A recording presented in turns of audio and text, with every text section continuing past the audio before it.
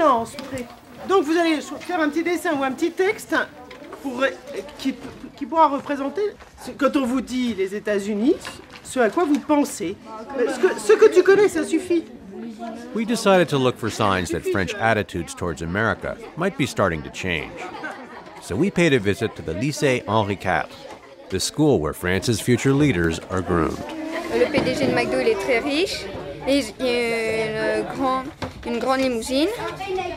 Et là, il y a euh, le président Bush. Il dit un slogan pour qu'on vote pour lui.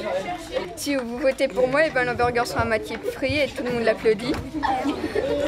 Alors ici, c'est un Américain à l'école qui ne comprend pas trop l'alphabet.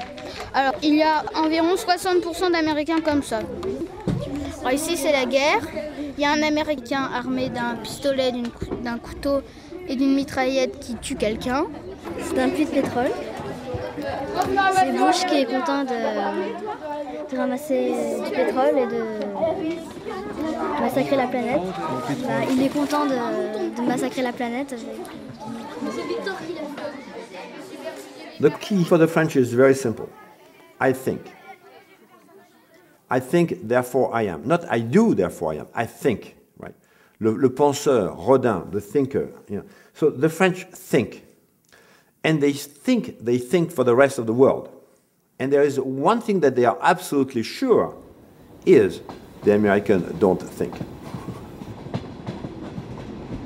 So it seemed that asking Europeans about America was a bit like holding up a mirror to their national character.